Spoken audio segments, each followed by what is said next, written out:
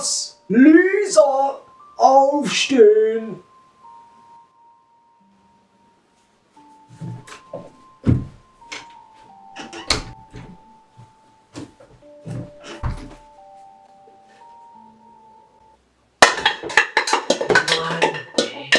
Dad!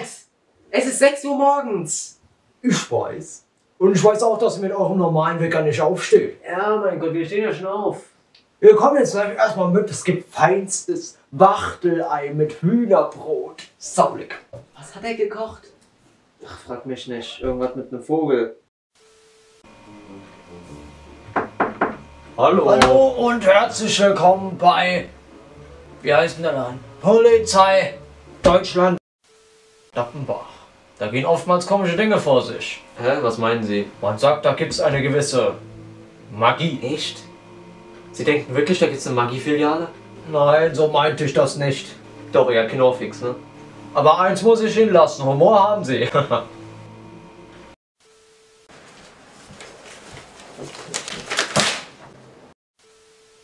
Ja, schön, dass ihr alle da seid. Ihr wisst ja, heute ist unser magischer Tag. Anweisung von Frau Torres, dass ich über dieses Thema berichten sollte. Ja. Hat denn jetzt noch jemand einen hilfreichen Beitrag zum Unterricht? Ich, Frau Zuckerstadt. Ja, Douglas, bitte. Ja, also das war so, das ist jetzt schon über ein Jahr her, also vor drei Jahrzehnten so circa. Da war bei mir zu Hause eine böse Hexe, die hat die komplette Familie angegriffen. Dann hat die sich noch Hefe geholt und hat sich Käsefanatiker dahergezaubert, das kann man gar nicht glauben.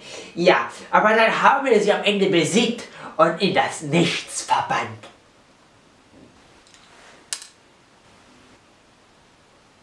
Wir wissen alle, er hat eine blühende Fantasie.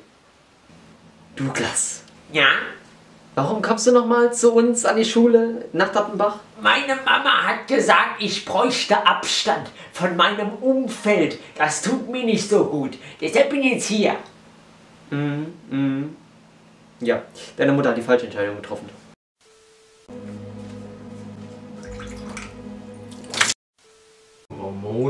Ramona Scheiasch. Ramona Scheiasch. Antagonistin Staffel 3. Und, schon was rausgefunden? Ja, so mehr oder weniger. Sag mal, im Internet scheint es so ein ganzes Forum über diese Ereignisse zu geben. Echt? Bin ich da auch drin? Nein, also dich habe ich noch nicht gefunden.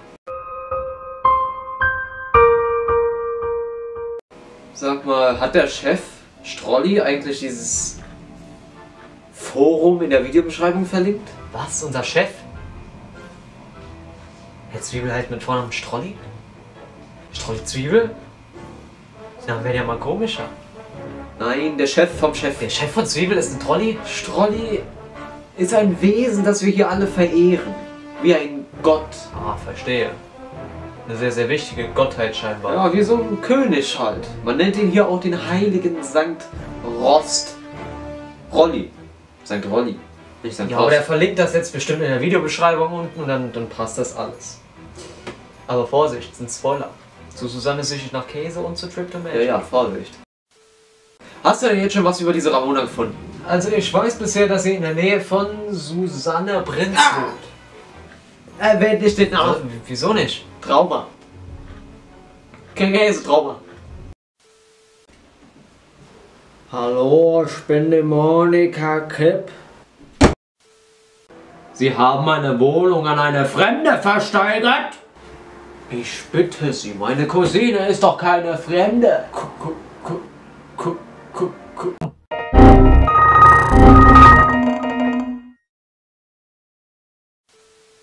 Also ich glaub dem Douglas. Glaubst du das selber nicht?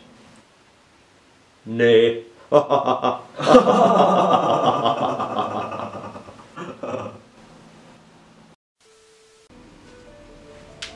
Entschuldigung, wer spricht? Mein Name ist Joachim Orangius. Ich habe Ihnen gerade unauffällig zugehört, ja. Wie bitte? Alarm! Nein, nein, nein, nein, hören Sie zu. Ich will Ihnen Geld leihen. Sie wissen doch gar nicht, wie viel ich brauche. Ach, das passt schon. Aber ich muss nach Doppelbach, das ist weiter Weg. Am Rand der Welt liegt das bekloppte Dachenbach. Nächste Woche Mittwoch. Wisst ihr, was da ist? Genau. Da ist schon die Physikklausur, ja? Und ihr. Sorry, dass ich euch das sage, aber ihr seid doof wie ein Stück Holz. Ne? Das stimmt doch gar nicht. Doch. Dann beweisen Sie es. Okay, Daniel. Erklär mir doch bitte mal den Unterschied zwischen der Zentrifugal- und Zentripedalkraft. Pass auf, Lukas. Ja, ja, die, die, die eine, die ist für, für, für Fugen die, und die andere, die für, für Pedale am, am Fahrrad. Ja, was sag ich? Sag mal Leute, kann mir das jetzt mal jemand erklären mit dieser Zent Zentrofogenius Kraft? Douglas. Douglas.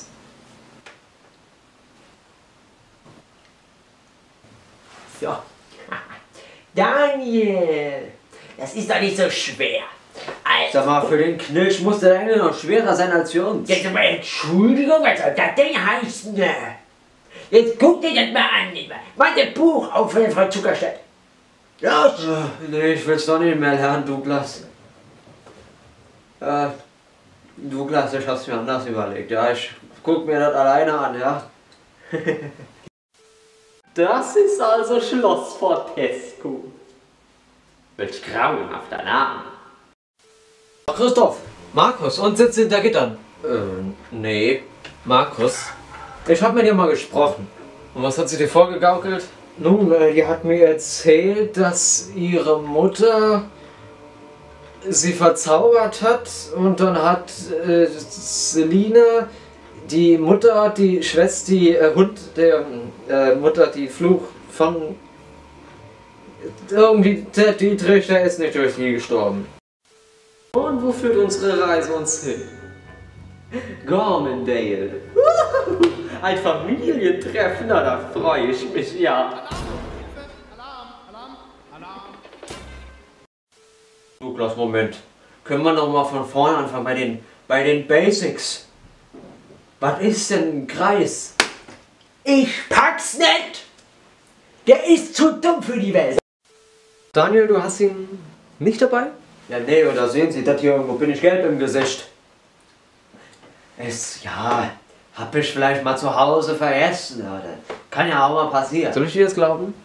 Frau Zuckerding da, machen Sie sich jetzt mal keine Gedanken, ich bring das Ding morgen mit und dann sind wir alle glücklich und tanzen auf der Gut. Weide. So soll es sein. Tommy, schreib sie auf die Liste. Ganz oben auf erster Stelle. Ist das eine Geburtstagsliste? Nein, das ist die Liste mit unseren Opfern. Oh. Das Blöde ist, da zieht jetzt jemand Neues ein. Ja, die Cousine. Das scheint irgend so eine Schnöseltante zu sein. Du wirst uns allen fehlen. Ja, mir auch, ja. Nee, wobei, ey. Nennt man das wirklich so? Bedient man hier Kunden? Ja, was machst du denn sonst? Backst den Leuten Kuchen und klatschst denen ins Gesicht oder was? Nee, Kuchen finde ich ekelhaft. Ja, das war ja nur Spaß. Du machst keinen Kuchen? Nein. Welcher Mensch mag denn keinen Kuchen? Hey, ich kann es mir auch tätowieren lassen, wenn du willst. Mega fett auf die Stirn. Nee, nee, all- alles gut. Ja, du, du machst es dann hier, ne? Bei Fragen ruf mich gern hier ähm, auf der Tastatur. Der Entfernen-Knopf kommt ein Signal zu meinem Kaffeespüler. Ja, dann werd ich wach. Da komme ich. Nee, ich schlaf natürlich nicht, aber ne, damit du weißt. Aber wozu gibt's denn dann diese Wache überhaupt noch? Hallo! Für sowas. Oh, der Kollege scheint es aber eilig zu haben, ne? Ja, der muss zum Golfclub. Was ist denn Ihr Anliegen? Ja, hallo, ich bin die Anke Regendegen. Und ich habe ein Problem, das können Sie nicht lösen. Okay, aber warum sind Sie dann hier? Weil Sie mir weg sind. Bitte? Ich spreche nur mit Herrn Chrissy. Nicht Ihr Ernst. Doch, ist voll mein Ernst. Sehen Sie mein Gesicht. Ich rufe ihn an. Ja, bitte, ich kollabier gleich. Ja, ich auch.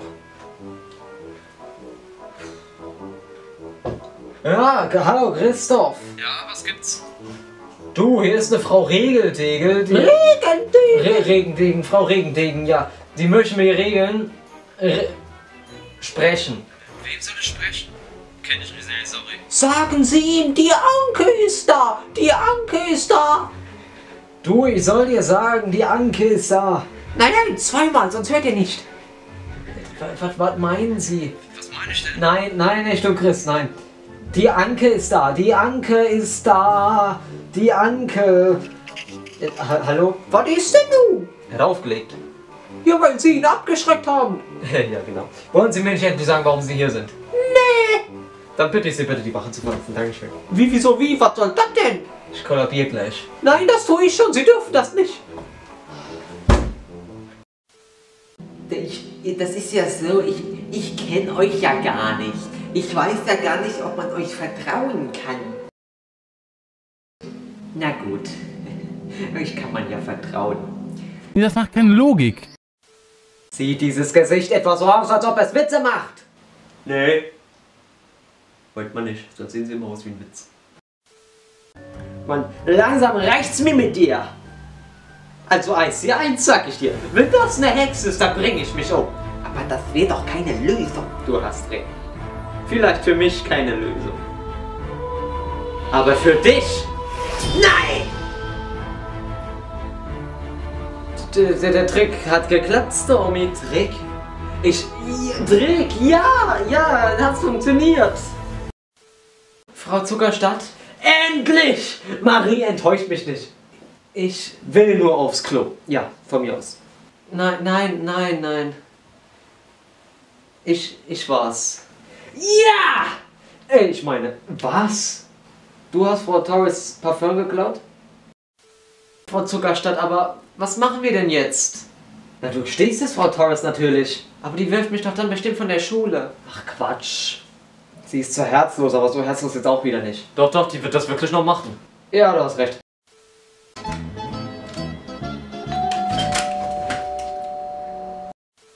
Mein toller Kuchen.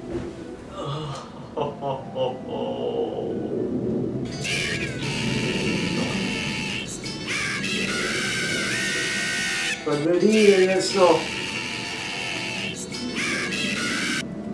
Hallo? Hallo, lieber Bruder. Schwesterchen Regina. Du, ich wollte mal fragen, ob du nächste Woche jetzt zur Familienfeier weißt du, ist gerade schwierig hier bei mir in Dappenbach. Hier ist so viel los, Baustellen vom Haus, hörst du?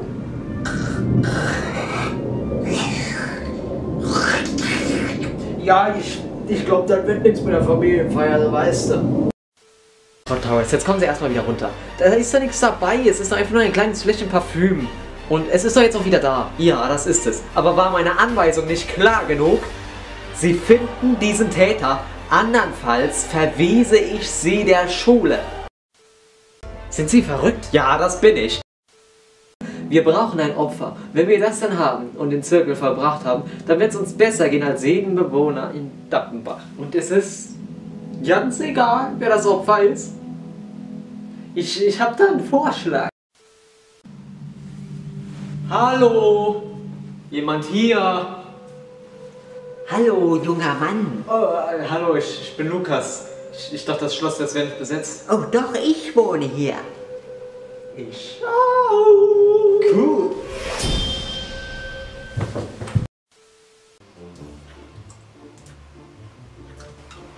Was? Warum muss ich eigentlich immer diese Drecksarbeit erledigen?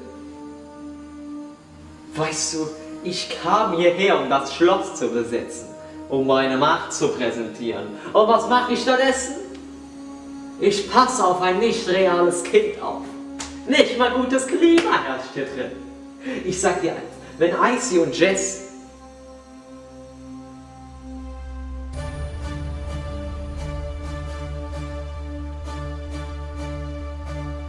Das ist nicht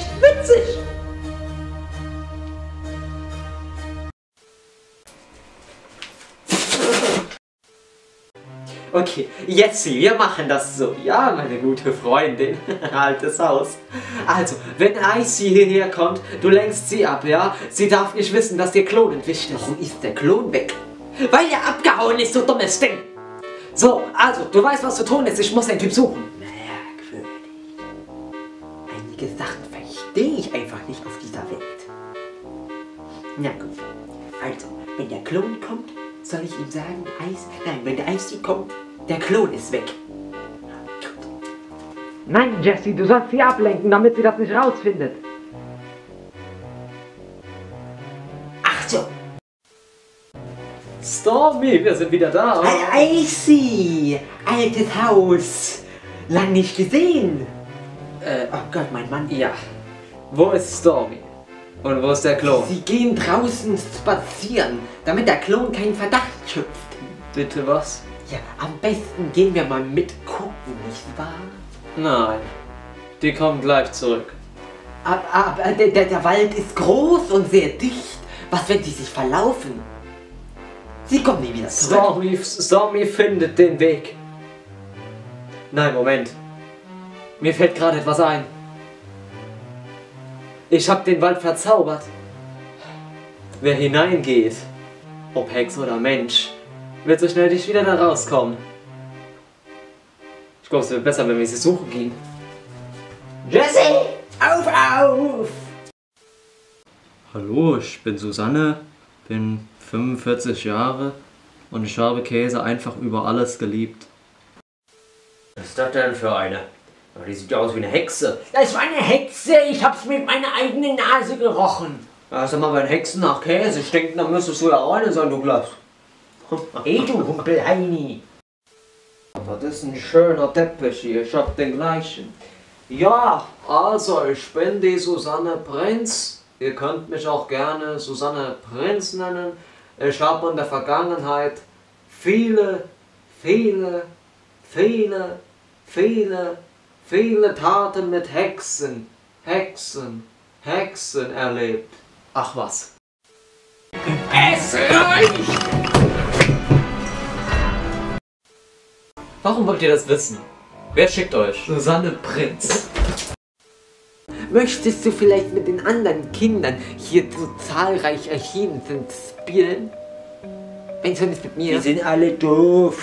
Und hässlich sind sie auch. Guck dir mal, wie die alle aussehen.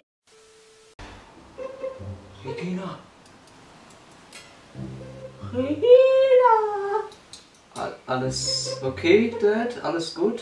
Lukas, ist deine Tante schon Oma da? ist da, aber sonst noch niemand. Falls sie kommt, sag ihr, ich habe keine Zeit. Ich muss, ich muss schnell zum Termin. Okay. Oh, Hilfe! Aber das kannst du doch nicht wirklich machen. Das ist unmenschlich. Deshalb sind wir Hexen, Jesse. Unmenschlich gibt es bei uns nicht. Mädels, Mädels, wie wär's, wenn wir uns jetzt alle einmal beruhigen und dann überlegen wir uns unseren Plan. Ich bin ruhig! Jetzt weiß ich auch, wer sie sind. Sie waren es gewesen.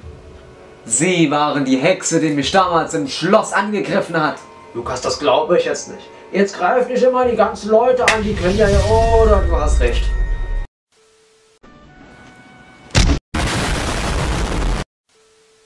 Jetzt wird eine Hexe verbrannt. Nein, vereist. Ver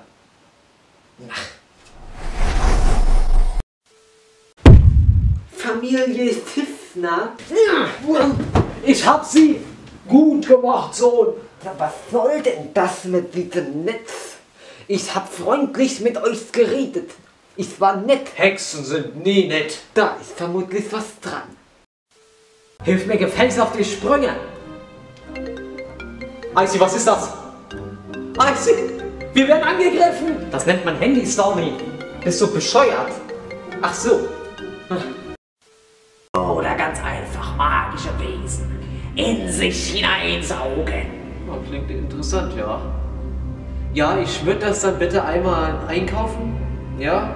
Können Sie direkt in Waren kommen? Chris, ich hab tolle Nachrichten. Brennt die Wache? Kann ich nach Hause? Nur noch ganz kurz. Wie hast du Magie erlangt?